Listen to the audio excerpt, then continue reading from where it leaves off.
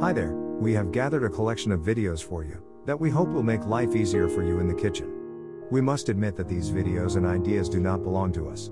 In fact, these videos may be copyrighted by their respective producers. We are just gathering here what we think is interesting and relevant.